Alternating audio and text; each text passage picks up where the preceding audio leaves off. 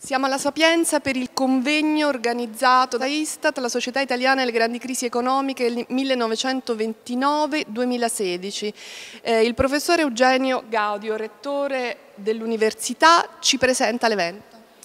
noi siamo molto lieti innanzitutto che l'evento si svolga qui in Sapienza anche perché il presidente attuale dell'Istat, professor Alleva, è un nostro illustre docente. Facciamo gli auguri all'Istat per questi 90 anni e per i prossimi